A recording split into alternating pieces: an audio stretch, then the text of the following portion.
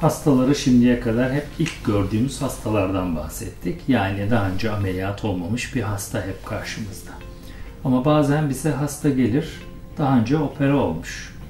Ee, burada biraz durmamız gerekir. Özellikle de nazal polipozisi olan yani burun içerisinde bol miktarda polipler sarkmış olan, alerjik yatkınlığı olan hastalarda nüksle geldiği zaman yani ameliyat olmuş bir şekilde aradan yıllar geçmiş ve nüks olmuş olarak geldiğinde burada özellikle de eğer siz ameliyatı yapan cerrah değilseniz iki kere dikkatli olmanız gerekiyor. Çünkü biz endoskopik sinüs cerrahisini yaparken bizim yol dışarıdan burnun önünden içeriye sinüse doğru e, yapmış olduğumuz yolculuk esnasında sağımızda, solumuzda, karşımızda karşılaştığımız bize yol gösteren bir takım tabelalar vardır. Ee, bir takım noktalar vardır. Ama bir önceki ameliyatta bu noktalar silip süpürülüp değişmiş olabileceği için bizi yanlış yere götürmemesi gerekir. İşte burada cerrah eğer çok tecrübeli ise dikkatli bir şekilde cerrahisini yapıp çıkabilir. Ama diyelim ki bazı noktalarda gidemeyeceğini düşündü. İşte o zaman da navigasyonel endoskopik sinüs cerrahisi dediğimiz bir işe girişiyoruz. İşi biraz daha komplike hale getirdik cerrah için, hasta için ama daha güvenli hale getirdik. Cerrah için daha güvenli hale getirdik çünkü komplikasyon riskini azalttık. Bunda ise şöyle bir şey yapıyoruz. 1 milimetre aralıklarla sinüsü radyolojide sinüs tomografisini alıyoruz hastanın. Daha sonra ameliyat masasında hastanın alnına e, bir bant yerleştiriyoruz. E, alın bölgesinde e, bir temas noktası olan. Daha sonra bir elektronik kalemle hastanın orbita dediğimiz göz etrafı, burnun kenarı gibi bir takım noktalarını işaretleyerek bununla hastanın çekilmiş olan tomografisini meç ediyoruz.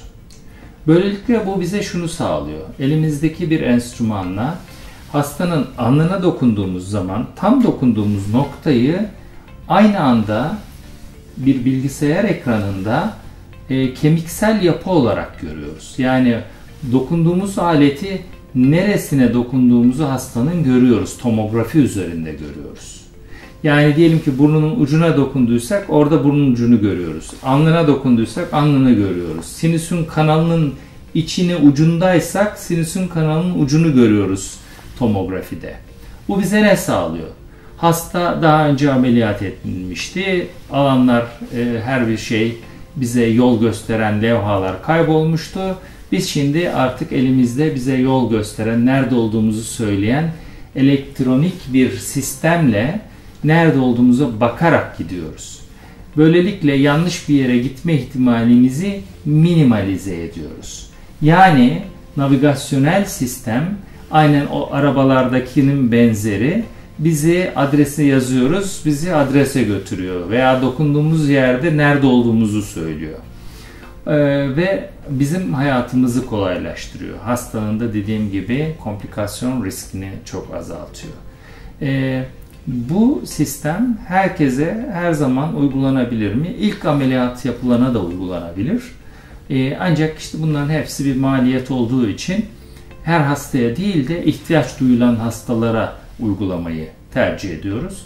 Ama en ufak bir şüpheye düştüğümüz anda navigasyonel sistemi hastaya kurup mutlaka öyle. Özellikle de ikinci cerrahi oluyorsa, özellikle de daha önce nazal polipozis nedeniyle e, ciddi ameliyat geçirmiş ve yeniden her bir taraf poliplerle gelmiş hastalarda veya nükslu hastalarda mutlaka navigasyonel cerrahi kullanmak lazım. Maalesef kötü olan haber ise Türkiye'de çok fazla yerde e, bu şansımız yok çok fazla hastanede. Ancak e, şimdilerde işte yeni e, geliştirilen cihazların taşınabilir olması istenildiğinde bunun bizim e, yine bir başka elimizmiş gibi bir enstrüman olarak yanımıza taşınmasına ve hastada kullanılmasına e, olanak sağlamaktadır. E, navigasyonel cerrahi her zaman hasta içinde, hekim içinde büyük bir emniyettir. Dediğim gibi her vakada değil ama ihtiyaç duyulan vakalarda kolaylıkla ve güvenle kullanmaktayız.